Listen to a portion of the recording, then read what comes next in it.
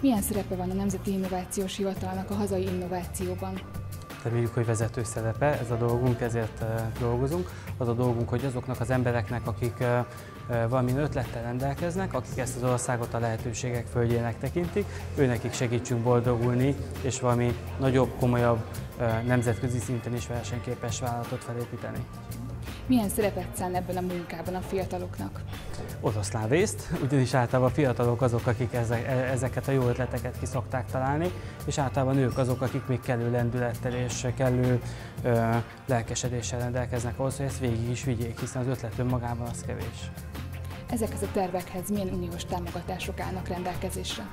Igazság, hogy most van az a pillanat, amikor azt kell mondjuk, hogy a következő 7 évben a pénz az valószínűleg nem lesz akadály, ugyanis 767 milliárd forint van csak az innovációra, csak az itthoni innovációs forrásokból. Ezen kívül van a közvetlenül Brüsszelből pályázható pénzek, és szerencsére már a magántőke is lát fantáziát egy nagyobb mértékben a magyar vállalatokban. Két program is van jelen, az egyik a Horizon 2020 és a GINOP. Ezek milyen programok, mit akarnak pontosan? A Horizont 2020 azok a közvetlenül Brüsszelből pályázható források, ez 21 ezer milliárd forintos keretösszeg, tehát egy igen komoly összegről beszéltünk. A GINOP az egy olyan operatív program, gazdaságfejlesztés és innovációs operatív program, aminek a keretében 767 milliárd forint van innovációra. Ezek a programok hogyan kapcsolódnak az informatikához?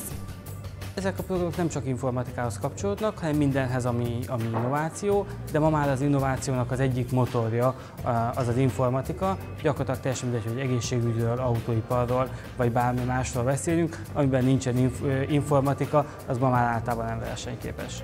Ön hogy látja, hogy milyen területeken kell még fejlesztéseket végrehajtani?